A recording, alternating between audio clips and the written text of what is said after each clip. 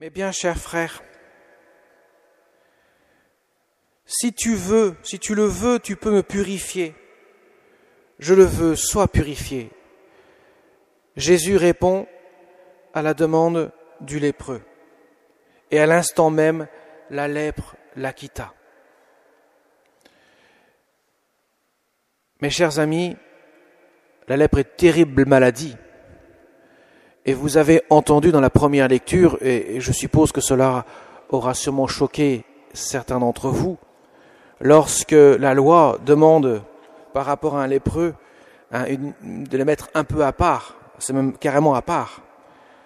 Le Seigneur dit à Moïse, quand un homme aura sur la peau une tumeur, une inflammation, une tache de lèpre, on l'amènera au prêtre Aaron, et le lépreux devra porter des vêtements déchirés, les cheveux en désordre, se couvrir le haut du visage jusqu'aux lèvres, et devra crier impur, impur. Et tant qu'il gardera cette tâche, il sera vraiment impur. On peut être choqué de cela. Pourquoi Dieu dit ça à Moïse? Effectivement, les lépreux sont contagieux et donc sont mis un peu à l'écart de la communauté pour ne pas contaminer les autres. Mais ils sont tellement mis à l'écart que, et bien sûr, évidemment, on ne peut pas les fréquenter, on ne peut pas les toucher, évidemment. Mais si Dieu demande ça à Moïse, il y a une raison, évidemment.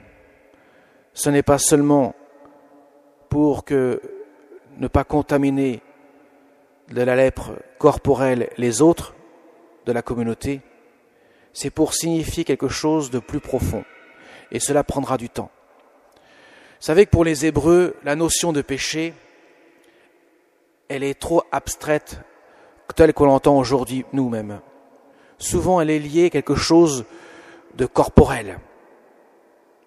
Effectivement, pour un Hébreu, et Jésus le reprocha vigoureusement aux pharisiens, aux sadducéens, pour un Hébreu, si quelqu'un est malade, si quelqu'un a la lèpre, c'est forcément qu'il a péché, ou du moins ses parents ont péché.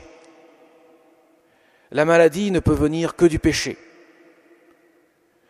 Alors Jésus dira non. Elle vient effectivement du péché à l'origine, du péché originel, mais elle ne vient pas du péché personnel des hommes. Et cela, il fera la distinction. Mais pour un, hébreu, il faut que ça soit concrétisé. Donc par conséquent, l'idée c'est d'extirper de notre cœur la lèpre, la lèpre qui touche non pas seulement le corps, mais le cœur. Parce que Jésus n'est pas venu seulement guérir les lépreux de la terre. Si c'était le cas, il serait resté longtemps, il aurait guéri tous les hommes. Mais non, il en guérit quelques-uns seulement. Quelques estropiés, quelques aveugles, quelques boiteux, quelques lépreux, et autres maladies, et également chasser les démons. Les évangélistes nous en parlent souvent. Mais Jésus est venu pour quelque chose de bien plus profond. Il veut enlever la lèpre de notre cœur. Et il n'y a que lui pour l'enlever. Il n'y a pas de médicament pour guérir cela. Parce que cette lèpre du cœur, c'est tout simplement le péché. C'est une lèpre qui vient d'un refus d'amour. Et que fait Jésus pour guérir la lèpre du cœur? Il donne sa vie sur la croix. Il nous fait plonger dans sa mort et sa résurrection par le baptême. Trois enfants se préparent à ce sacrement.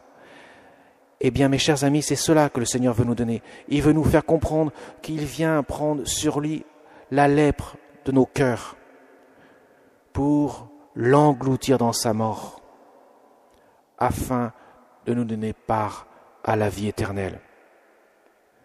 C'est un grand mystère cela. Au début, les, Hébreux ne comprennent pas tout cela, le sens que Jésus leur donne, donne à à ce mystère-là. Ils ont beaucoup de mal à saisir l'importance de cela. Il faudra du temps, même les apôtres auront du mal à tout saisir. Mais peu à peu, Jésus veut leur faire comprendre qu'il faut entrer dans la profondeur de votre cœur. Même Saint Pierre, une fois la résurrection de Jésus, ne comprendra pas tout. Lorsqu'il verra une toile se défiler devant lui, devant sous ses yeux avec plein de viande interdite à manger selon la coutume des Hébreux, Dieu dit à Pierre, mange, immole. Pierre dit non, surtout pas. Arrête de dire impur ce qui rentre dans ton ventre, mais c'est ce qui sort de ta bouche qui peut être impur. Jésus le dira dans l'Évangile, ce n'est pas ce qui rentre dans votre cœur, mais ce qui sort de votre bouche qui est impur. C'est ça la lèpre du cœur. Elle vient ronger le cœur, et peu à peu, elle nous donne la mort dans le cœur. C'est le sens de ce que Jésus veut nous montrer, qu'il faut se convertir. Nous approchons du carême. Mercredi prochain, nous allons recevoir les cendres sur notre front.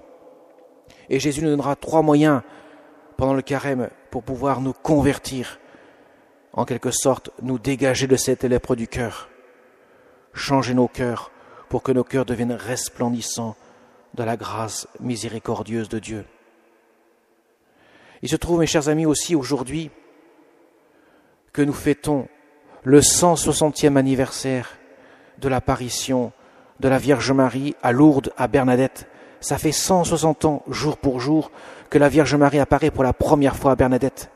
Et vous savez, dans ce message qu'elle va donner à Bernadette, elle va dire pénitence, pénitence, pénitence, à trois reprises pénitence, trois fois le mot pénitence, comme pour dire laissez-vous plonger dans l'eau de votre baptême à nouveau.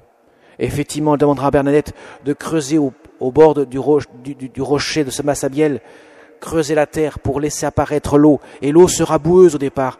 Elle lui dit bois cette eau. Elle va boire de l'eau qui sera un peu boueuse. Cette eau boueuse nous rappelle le mystère du baptême. Elle dira allez vous laver dans cette eau-là.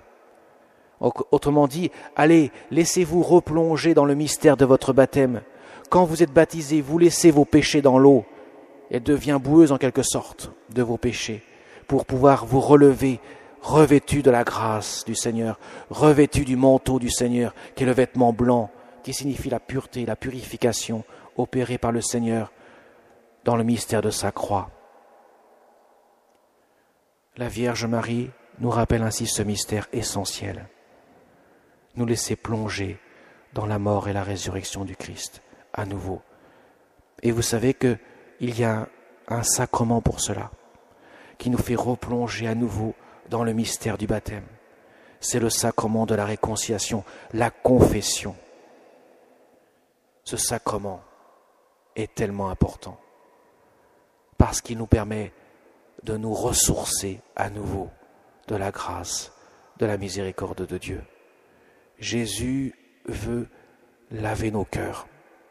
C'est comme si nous demandions au prêtre, qui tient le rôle, bien sûr, qui tient la place du Christ, parce que le Christ, par le sacrement, rend présent son action à travers les paroles du prêtre, la présence du prêtre, quel que soit d'ailleurs le degré de sa sainteté, heureusement d'ailleurs. Et que dit, Jésus? Je le veux, soit purifié à chacun d'entre nous, lorsque nous allons nous confesser. Et quand nous entrons dans le confesseur, quand nous confessons devant le prêtre, nous, disons, si tu le veux, tu peux me purifier. Nous disons cela à Jésus, en disant, Seigneur, pardonne mes péchés.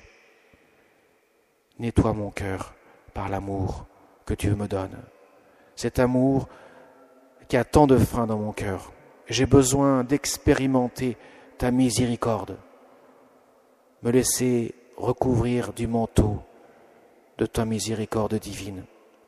Je veux être abreuvé des rayons de la grâce qui sortent de ton côté ouvert pour que tu puisses me toucher, toucher mon cœur et le remplir de ton amour miséricordieux.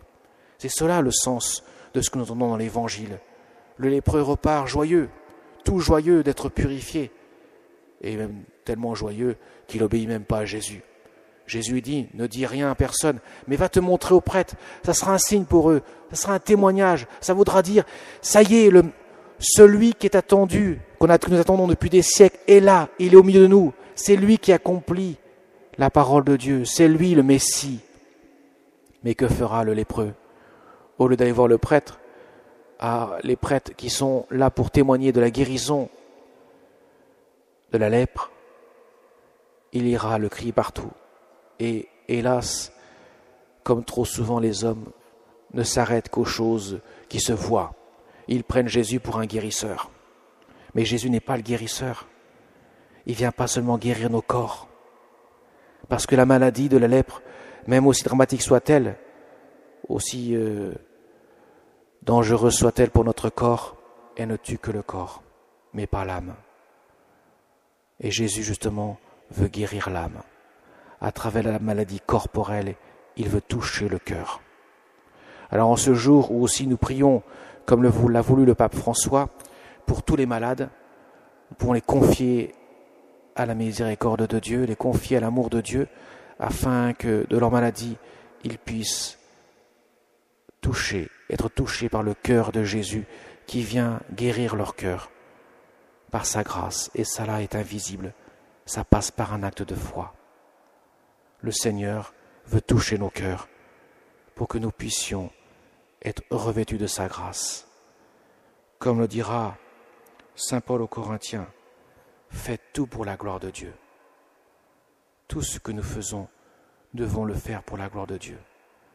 Il faut demander au Seigneur, avec l'intercession de la Vierge du Immaculée, du cœur immaculé de Marie, de nous laisser revêtir par la grâce du Seigneur, de nous préparer à ce carême pour nous laisser conduire aux sources de la miséricorde qui prendra son point culminant dans le mystère de la passion, de la mort et de la résurrection du Christ. Tout découle de là. Tout découle de cela. Et nous les chrétiens, en tant que chrétiens, nous sommes appelés à témoigner de ce mystère. À la fin de la messe, l'équipe pastorale sera envoyée, je, dirai en quelques mots en quoi cela consiste. Eh bien, le rôle de l'équipe pastorale, comme de tout chrétien avant tout, c'est de témoigner de la miséricorde de Dieu. Témoigner que Jésus vient toucher nos cœurs pour nous conduire à sa béatitude éternelle, comme la Vierge Marie l'avait tant compris et n'a jamais cessé de le méditer dans son cœur. Amen.